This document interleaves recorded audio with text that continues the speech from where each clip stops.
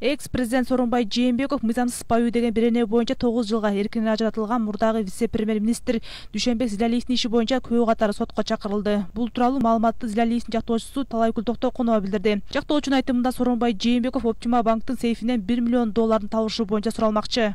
Бкнбда болгондо эле зилалиев көрсөтмө берген. Бул акча ошол эле мезгилде ошол кездеги кандидат в президенти болгон сооронбай жээнбековдун э, жанагы э, выборный кампаниясына чогултулган акча болгон жана ошонун өзүнө берилген.